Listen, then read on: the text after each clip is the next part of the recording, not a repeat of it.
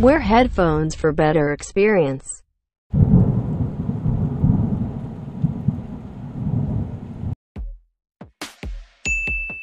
Hi guys welcome to my channel Tamil cartoonist so இன்றைக்கி என்ன video என்ன பார்க்க போகிறோம் அப்படின்னு பார்த்தீங்கன்னா ஆடுகளம் சீரிஸில் ஏழாவது வீடியோ ஸோ நம்ம வந்து ஆடுகளம் சீரிஸில் வீடியோஸ் போட்டு ரொம்ப நாட்கள் ஆச்சு. அண்ட் அதனால தான் இந்த ஒரு வீடியோ வந்து நான் அப்லோட் பண்ணுறேன் அண்ட் அது மட்டும் இல்லாமல் நம்ம சேனலில் ஏற்கனவே நம்ம ஆடுகளம் சீரிஸில் வந்து ஆறு வீடியோஸ் போட்டிருக்கோம். ஸோ அந்த ஆறு வீடியோஸும் பார்க்கலைன்னா டெஸ்கிரிப்ஷனில் லிங்க் இருக்குது அண்ட் அது மட்டும் இல்லாமல் மேலே அந்த ஐ பட்டன்லேயும் லிங்க் வரும். கிளிக் பண்ணி பாருங்கள் ஸோ இந்த ஒரு வீடியோ வரதுக்கு ரொம்ப ரொம்ப ரொம்ப நாட்கள் ஆயிடுச்சு. என்னை மன்னிச்சுக்கோங்க. எனக்கு வந்து சில எக்ஸாம்ஸ்லாம் நடந்துக்கிருக்கு.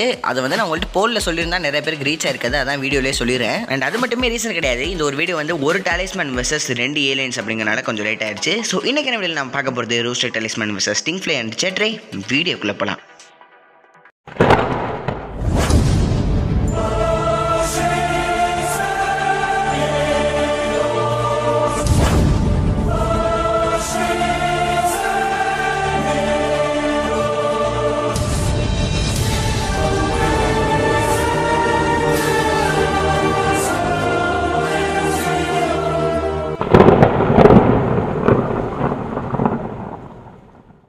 நம்ம ஜாக்கிஜன் அட்வென்ச்சர்ஸ் ஃப்ரான்ச்சைஸில் எல்லாருக்குமே ஒரு ஆசையை தூண்டின ஒரு மதர்கள்னு சொல்லலாம். சேவல் மதர்கள் வர்சஸ் நம்மளுடைய பென்டன் கிளாசிக் சீரிஸ்லேருந்தே காடி இருந்த அந்த ஸ்டிங் ஃப்ளை வர்சஸ் நம்ம ஏலியன் ஃபோர்ஸ் அறிமுகப்படுத்தப்பட்ட அந்த ஜெட்ரேக்கும் தான் இன்றைக்கி வந்து பேட்டில் நடக்க போகுது. ஸோ நம்ம வின்னரை பேஸ் பண்ணுறது வந்து person abilities and battle category power of flight first of all நம்ம ஸ்டிங் ஃப்ளைட் இருந்து போயிடலாம். ஸோ ஸ்டிங் ஃப்ளையுடைய அந்த ஸ்பீசிஸ் வந்து லெப்பிடாப் டெரன் அப்படின்னு சொல்லுவாங்க. இவங்க வாழக்கூடிய இந்த கிரகத்தை வந்து லெப்பிடாப் டெரான்னு சொல்லுவாங்க. ஸோ இந்த கிரகத்தில் இன்னொரு உயிரினம் வாழ்றாங்க. அவங்க தான் பக்லிசாட் ஸோ இந்த பக்லிசாடை வந்து நீங்கள் ஆம்னிவர்ஸில் நிறைய டைம்ஸ் பார்த்துருப்பீங்க. இந்த ஸ்பீசிஸ் தான் நம்ம ஸ்டிங் ஃப்ளையோட ஸ்பீசிஸ்க்கு இயற்கை எதிரிகள். இப்போ நம்ம ஸ்டிங் ஃப்ளையோடைய பவர்ஸ் எபிலிட்டிஸ் என்னென்ன அப்படிங்கலாம் வந்து வரிசையாக பார்த்துலாம் ஸோ ஸ்டிங் ஃப்ளைக்கு வந்து அந்த ப்ரொஜெக்டைல்ஸ் அதாவது அந்த ஸ்லைம் ப்ரொஜெக்டைல்ஸ் அதுக்கப்புறம் வந்து ஸ்லைம் ஸ்பிட்னு சொல்லி மற்ற பவர்ஸ் இருக்குது பட் நம்ம வந்து அதெல்லாம் கணக்கில் எடுத்துக்க போகிறது கிடையாது. நம்ம வந்து கணக்கில் எடுத்துக்க போகிறது வந்து மைண்ட் பவர்ஸு அதுக்கப்புறம் ஸ்ட்ரென்த்து டியூரபிலிட்டி அண்ட் அது மட்டும் இல்லாமல் பவர் ஆஃப் ஃப்ளைட் இந்த பறக்கக்கூடிய சக்தி இதை தான் நம்ம வந்து பவரில் எடுத்துக்க போகிறோம் ஸோ அப்போ இருக்கும்போது நம்ம ஸ்டிங் ஃப்ளைக்கு வந்து இந்த பவர் வந்து நம்ம வந்து கணக்கில் எடுத்துக்க போகிறது கிடையாது. அதே மாதிரி தான் ஜெட்ரேக்குமே அவனுடைய மற்ற சக்திகளை வந்து நம்ம எடுத்துக்க போகிறது இல்லை ஸோ அதை தவிர்த்து அவனுடைய மேஜரான பவர் என்ன அப்படின்னு பார்த்தீங்கன்னா இந்த பவர் ஆஃப் லைட் பறக்கிறது. ஸோ இது வந்து ஒரு பட்டாம்பூச்சியை பேஸ் பண்ணி தான் நம்ம ஸ்டிங் பிளே வந்து டிசைன் பண்ணியிருப்பாங்க. அண்ட் அஃப்கோர்ஸ் அதே மாதிரி தான் காமிச்சிருப்பாங்க. ரெக்கைகள் வந்து பட்டாம்பூச்சி மாதிரி அடிச்சிட்டு பறக்கிறது. அதாவது தட்டான் மாதிரின்னு சொல்லலாம். தட்டான் மாதிரி தான் ரெக்கை இருக்கும். ஸோ வந்து அதுதான் இருக்கிற மேஜரான ஒரு விஷயமே. ரெக்கை தான். ஸோ ஸ்பீட் லெவல் பார்த்தீங்கன்னா நம்ம வானத்தில் எந்த ஒரு கிளைமேட் சேஞ்சும் இல்லை எந்த ஒரு அப்டக்கல்ஸும் இல்லை அப்படின்னா ஸ்பீடை வந்து ரைஸ் பண்ணிக்கலாம். அண்ட் அது மட்டும் இல்லாமல் டெக்ஸ்டரிட்டி அதாவது திறமைகள். இந்த திறமைகள் அப்படிங்கிறது நம்ம பென் டுவெண்ட்டி த்ரீ அதாவது டைமென்ஷன் டுவெண்ட்டி த்ரீல இருக்கக்கூடிய அந்த பென்டனுடைய அந்த ஸ்டிங் ஃப்ளை வந்து காமிச்சிருப்பாங்க. அதுக்கு தான் அந்த டெக்ஸ்டரிட்டி அதிகமாக இருக்க மாதிரி காமிச்சிருப்பாங்க. பட் நம்ம ஆம்னிவர்ஸில் இருக்க அந்த ஸ்டிங் ஃப்ளைக்கு வந்து அதிகமாக காமிச்சிருப்பாங்க. பட் நம்மளுடைய அந்த கிளாசிக்கில் வந்து கம்மியாக தான் காமிச்சிருப்பாங்க. அண்ட் அதுக்கடுத்து ஸ்ட்ரென்த் வைஸ் பார்த்தீங்கன்னா ஒரு முழுசாக வளர்ந்த ஒரு ஆளை தூக்கிட்டு நல்லா எந்த ஒரு பிரச்சனையுமே இல்லாமல் சக்ஸஸ்ஃபுல்லாக பறக்க முடியும். அதை விட அதிகமாகவும் வெயிட் தூக்க முடியும். பட் அந்த மாதிரி வந்து நிறைய இடங்களில் காட்டிக்க மாட்டாங்க. பட் மிகப்பெரிய உருவங்களை வந்து ஈஸியாக ஃபைட் பண்ணுறதுக்கு தன்னுடைய காலை யூஸ் பண்ணும்.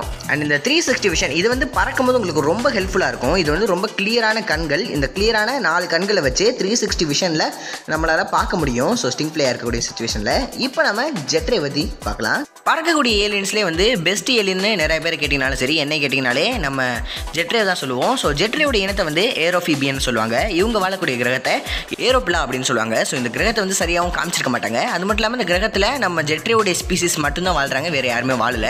இப்போ நம்ம ஜெட்ரேயோடைய பவர்ஸ் அண்ட் எபிலிட்டிஸ் என்னென்ன அப்படிங்கிறதெல்லாம் வரிசையை பார்த்துலாம் அங்கே நம்மளுடைய ஸ்டிங் ஃப்ளைட்டை வந்து நம்ம அந்த அந்த ஸ்லைம் ஸ்பிட்டு இதெல்லாம் எடுத்துக்காத மாதிரி இங்கே நம்ம வந்து அந்த நியூரோ ஷாக் விஷன் அந்த நியூரோ ஷாக் பவர் இருக்குல்ல ஸோ அதை வந்து எடுத்துக்க போகிறது கிடையாது. இதை வந்து நம்ம பன்றி மந்திரங்களோட வேணால் கம்பேர் பண்ணி இந்த இன்னொரு வீடியோ போடலாம்.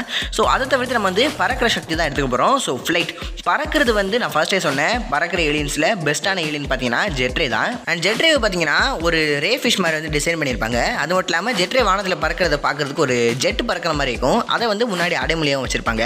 ஸோ ஜெட்ரேவுடைய பவர் என்னென்னு பார்த்தீங்கன்னா பறக்கிறது. பறக்கிறது மட்டும் இல்லை வேகமாக பறக்கும். ஸோ சூப்பர் சானிக் ஸ்பீடில் பறக்குங்க. அதை தவிர்த்து வேறு என்ன தேவை நமக்கு? லைட்டோட ஃபாஸ்ட்டாலாம் கிடையாது பட் சூப்பர் சானிக் ஸ்பீடில் வந்து பறக்க முடியும் நம்ம ஜெட்ரேவால் சூப்பர் சானிக் ஃப்ளைட்னு சொல்லலாம். அண்ட் ஏலியன் ஃபோர்ஸில் காட்டப்பட்ட ஒன் ஆஃப் த அஜைலான ஏலியன் சொல்லலாம். ரொம்ப ரொம்ப சுறுசுறுப்பான ஒரு ஏலியனாக இருக்கும். ரொம்ப ஆக்டிவான ஒரு ஏலியன் சொல்லலாம். அண்ட் அஃப்கோர்ஸ் பறக்கக்கூடிய சுச்சுவேஷனில் உங்களால் ஈஸியாக வந்து அட்டாக் பண்ணவே முடியாது. அதுவும் இல்லாமல் ரொம்பவே ஹைட்டான இடத்துக்குலாம் வந்து பறக்க முடியும்.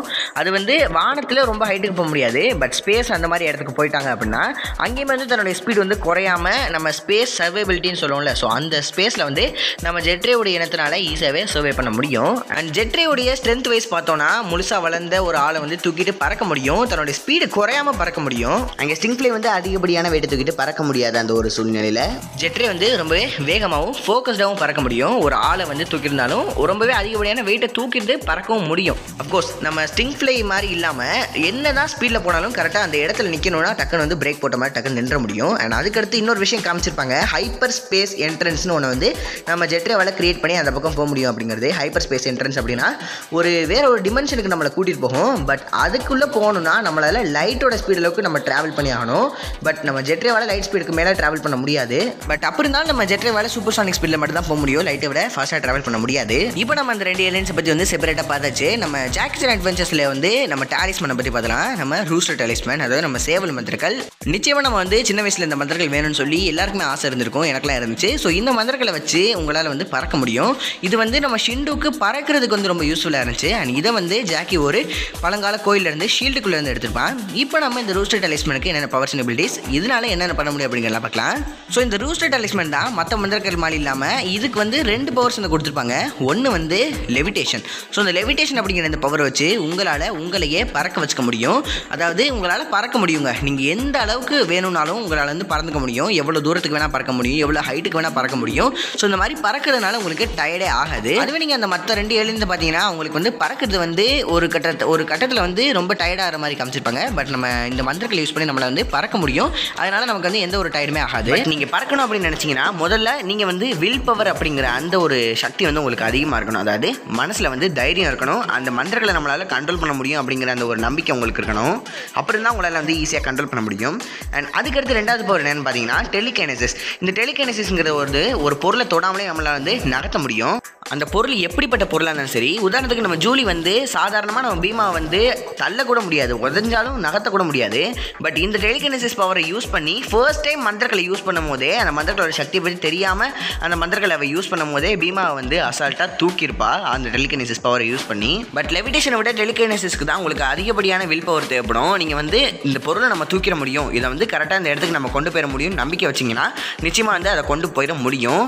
அதான் நம்ம பீமாவே வந்து நம்மளால் அசால்ட்டாக தூக்கி வச்சிருக்க முடியும். அண்ட் இந்த டெலிகைனசிஸ் அப்படிங்கிற இந்த ஒரு பவர் வந்து பார்த்தீங்கன்னா இதுக்கு எல்லையே கிடையாது. நீங்கள் எந்த ஒரு பொருளை வேணால் தூக்கலாம். ஒரு மிகப்பெரிய மலையாக இருந்தாலும் சரி மிகப்பெரிய வீடாக இருந்தாலும் சரி நீங்கள் வந்து வில் பவர் மட்டும் உங்களுக்கு இருந்துச்சுன்னா போதும். அதை எவ்வளோ உயரத்துக்கு வேணால் எவ்வளோ உயரத்துக்கு வேணால் கொண்டு போக முடியும். அண்ட் அஃப்கோர்ஸ் அதே மாதிரி தான் நம்மளுடைய அந்த வில் பவர் வந்து அதிகமாக இருந்துச்சுன்னா லெவிடேஷன் பவரை யூஸ் பண்ணி நம்மளால் எந்த ஒரு இடத்துக்கும் எவ்வளோ உயரத்துக்கு வேணால் எவ்வளோ ஸ்பீடில் வேணால் பறக்க முடியும். பட் ஸ்பீடுக்கு வந்து லிமிட் இருக்குது நம்ம சேவல் மந்திரங்களோட முயல் மந்திரங்களை வந்து சேர்த்து நம்ம வந்து யூஸ் பண்ணோம்னா நம்மளால் ஜெட்ரேவோடைய அந்த ஃபுல் ஸ்பீடான சூப்பர் சோனிக் ஸ்பீடை வந்து அச்சீவ் பண்ண முடியும். ஸோ இப்போ நம்ம வீக்னஸ் பக்கம் வரலாம். ஸோ நம்ம ஸ்டிங் ஃப்ளைக்கு என்னென்ன வீக்னஸ் இருக்குது அப்படிங்கிற வரிசையை பார்த்துலாம். ஸோ ஸ்டிங் ஃப்ளையுடைய இயற்கை எதிரியான அந்த பக் லிசார்ட் தான் நம்ம ஸ்டிங் ஃப்ளையுடைய மேஜரான ஒரு வீக்னஸ் ஏன்னா ஒரு ஏலியன் இருக்குன்னா அந்த ஏலியனுடைய ஆன்டி ஏலியன் வந்து நிச்சயமாக அதுக்கு வந்து ஒரு வீக்னஸாக தான் இருக்கும். ஸோ அப்படி இருக்கும்போது பக் லிசார்ட் வந்து இதுக்கு ஒரு மிகப்பெரிய வீக்னஸ் அண்ட் அது மட்டும் இல்லாமல் என்னதான் ஒரு ஸ்ட்ராங்கான வாளாக இருந்தாலும் அந்த வாழை வந்து ஒரு இடத்துல நம்ம கட்டி போட்டுருவோம்னா நம்ம ஸ்டிங் ஃப்ளையால் அந்த இடத்துல வந்து நகரக்கூட முடியாது. ஸோ அதுக்கடுத்து ஸ்டிங் ஃப்ளை வந்து பறக்கும் போது அதிகப்படியான வெயிட்டை தூக்கிட்டு பறக்க முடியாது. நம்ம ஜெட்ரே வந்து ஓரளவுக்கான வெயிட்டை தூக்கிட்டு பறக்க முடியும் தன்னோட ஸ்பீடு குறையாம பட் ஸ்டிங் ஃப்ளேயால் முடியாது. அண்ட் அது மட்டும் இல்லாமல் மேஜரான ஒரு வீக்னஸ்னு பார்த்தீங்கன்னா தண்ணி தான். ஸோ ஸ்டிங் ஃப்ளே வந்து தண்ணியில் யாராச்சும் காப்பாற்றணும்னு நினச்சா கூட தண்ணிக்குள்ளே போய் காப்பாற்றது ரொம்ப கஷ்டம். தன்னுடைய ரெக்கை வந்து தண்ணியில் பட்டுச்சுன்னா அப்படியே பட்டாம்பூச்சியோட ரெக்கைகள் ஒட்டிக்கிற மாதிரி ஒட்டிக்கும் பறக்க முடியாது. இப்போ நம்ம ஜெட்ரைக்கு என்னென்ன வீக்னஸ் இருக்குது அப்படிங்கலாம் வரிசையை பார்த்துலாம் ஸோ ஜெட்ரேயோட வீக்னஸ் அப்படின்னு பார்த்தீங்கன்னா அதுக்கு இயற்கை எதிர்களுமே கிடையாது. ஸோ அப்படி இருக்கும்போது ஜெட்ரேயை வந்து நீங்கள் ஒரே இடத்துல நகர்த்தாமல் அப்படியே வச்சுக்கிட்டிங்கனாலே போதும். அப்படி நீங்கள் வச்சுக்கணும் அப்படின்னா அதை வந்து ட்ராப் பண்ணணும். அப்படி ட்ராப் பண்ணுறதுக்கு வெப்பு இல்லைனா அதோடைய பவரான அந்த நியூரோ ஷாக் இல்லாட்டி ஹீட் இதை வச்சு நீங்கள் எப்படியாச்சும் வந்து அட்டாக் பண்ணி ஆகணும். அஃப்கோர்ஸ் ஹீட்டுக்கும் எலக்ட்ரிசிட்டிக்கும் நம்ம ஜெட்ரே வந்து வல்னரபிள் கிடையாது. பட் அதுக்குமே லிமிட் இருக்குது அண்ட் அதே மாதிரி எதிர்காத்துக்கு நேராக வந்து ஜெட்ரேனால் பறக்கிறது ரொம்ப கஷ்டம். அதோடைய ரெக்க டிசைன் அப்படி இருக்கனால அதனால் பறக்கிறது ரொம்ப கஷ்டமாக இருக்கும். உதாரணத்துக்கு நம்மளுடைய காற்று ரெக்கன் வந்து ஊதுனானா நம்ம ஜெட்ரேவால் பறக்கவே முடியாது. ஜெட்ரே அப்படியே ரிவர்ஸில் போயிடும் அப்படியே அந்த காற்று எதிர்காத்துக்கு நேராக பறக்க கூட முடியாது. ஏன்னா சூப்பர் சானிக் ஸ்பீடை வந்து யூஸ் பண்ணலாம்னு பார்த்தாலுமே. பட் காற்று இல்லாத டயத்தில் வந்து ஈஸியாக வந்து பறக்க முடியும். அதே மாதிரி வானத்தில் கிளைமேட்டிக் சேஞ்சஸ் இருந்துச்சுனாலும் பறக்கிறது ரொம்ப கஷ்டம். அண்ட் அதுக்கடுத்து நம்ம கிராவிட்டாக்குடைய அந்த கிராவிகைனசிஸ் அதுக்கப்புறம் நம்ம ஏலியனெக்ஸோடைய அந்த டெலிகைனசிஸ் இந்த பவருக்குலாம் வந்து ரொம்ப வல்னரபிள் டெலிகைனசிஸ் பவரை வச்சு நம்ம வந்து அப்படியே நகர்த்தாமல் விட்டுட்டோம்னு வச்சுக்கோங்களேன். அப்படியே ஒரே இடத்துல வந்து நம்ம அதை கண்ட்ரோல் பண்ணலாம் நம்ம ஜெட்ரேவை அப்படின்னா ஜெட்ரேவால் பறக்க கூட முடியாது. ஸோ இதே டெலிகைனசிஸ் பவர் நம்ம சேவல் மந்திரங்கள்ட்டே இருக்குங்கிறத ஞாபகம் வச்சுக்கோங்க. இப்போ நம்ம சேவல் மந்திரங்களுக்கு என்னென்ன வீக்னஸ் இருக்குது அப்படிங்கிறதெல்லாம் வரிசையாக பார்த்துடலாம். ஸோ இதை வந்து ஃபர்ஸ்ட் டைம் நீங்கள் யூஸ் பண்ணும்போது உங்களுக்கு வந்து இதோடைய வில் பவர் தான் இதுக்கு தேவை அப்படிங்கிறது உங்களுக்கு தெரியாது. ஒருவேளை வில் பவர் வந்து உங்களுக்கு இல்லை. அதாவது இந்த மந்திரக்கலை வந்து எப்படி யூஸ் பண்ணணுங்கிறது உங்களுக்கு தெரியலனா நீங்கள் வந்து இந்த மந்திரக்கலை வச்சிருக்கும் போது உங்களுக்கே ஆபத்துகள் ஏற்படுறதுக்கான வாய்ப்பு இருக்குது அதாவது நீங்கள் பறந்துக்கிறக்க வந்து டக்குனு கீழே விழுகிறதுக்கான ஏகப்பட்ட வாய்ப்புகள் இருக்குது அதே மாதிரி நீங்கள் வானத்தில் பறந்துட்டு இருக்கும்போது கிளைமேட்டிக் சேஞ்சஸ் அதாவது மழை பெய்யுறது இடி இடிக்கிறது இதெல்லாம் உங்கள் மேலே தாக்கிருச்சுனாலும் உங்களுக்கு வந்து ஆபத்துகள் இருக்குது பட் என்னதான் இருந்தாலும் இந்த வில் பவரை வச்சு நீங்கள் அதுலேருந்துமே தப்பிச்சு போக முடியும் அப்படின்னு சொல்லியிருக்காங்க. மற்றபடி அவங்க எந்த ஒரு வீக்னஸுமே வந்து மேஜராக வந்து காட்டியிருக்க மாட்டாங்க.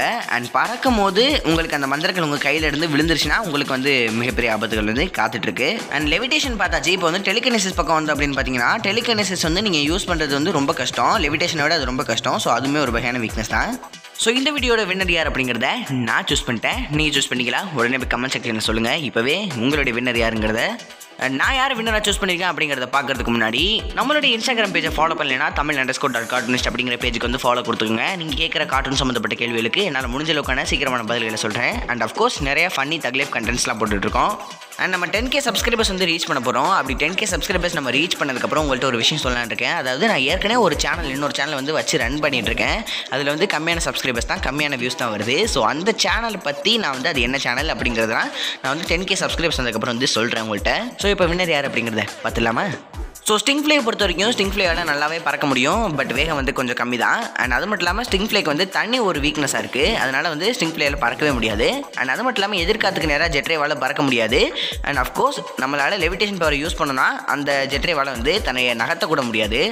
ஸோ இந்த வீக்னஸ்லாம் பேஸ் பண்ணி பார்த்தா நம்ம ரூஸ்டேட் அலைஸ்மெண்ட் தான் நான் வந்து வினராக சூஸ் பண்ணியிருக்கேன். அண்ட் இந்த வின்னர் வந்து முழுக்க முழுக்க என்னுடைய சாய்ஸ் தான். பட் நான் வந்து பறக்கிற பவர் அண்ட் மைண்ட் பவர்ஸ் இது ரெண்டை மட்டும் தான் வச்சு வந்து எனக்கு பேட்டில் நடத்திருக்கோம். ஸோ அப்படி இருக்கிறனால தான் இன்றைக்கி வந்து ரோட் ஸ்டாலிஸ்மன் வந்து ஜெயிச்சிருக்கு. அப்படி இல்லைனா வந்து மற்ற ரெண்டு ஏலியன்ஸ் ஏதாச்சும் ஒரு ஏலியன் வந்து ஜெயிக்கிறதுக்கான வாய்ப்பு இருந்துச்சு. பட் இதுதான் ஒரு லீகலான மேட்ச் அப்படின்னு சொல்லி நான் நினைக்கிறேன். ஸோ உங்களுடைய வின்னர் யார் அப்படிங்கிறது கமெண்ட் செக்ஷன் சொல்லிடுங்க உங்களுக்கு தெரிஞ்ச உங்கள் ஃபோன்லாம் வாங்கி நம்ம சேனல் சப்ஸ்கிரைப் பண்ணி வச்சுக்கோங்க. பிகாஸ் நம்ம சேனல் வந்து டென் கே சப்ஸ்கிரைபர்ஸ் ரீச் பண்ண போது அண்ட் டென் கே சப்ஸ்கிரைபர்ஸ் வந்ததுக்கப்புறம் என்னோட இன்னொரு சேனல் என்ன அப்படிங்கிறத வந்து நான் ரிவீல் பண்ணுறேன் ஸோ தேங்க்ஸ் ஃபார் வாட்சிங் திஸ் வீடியோ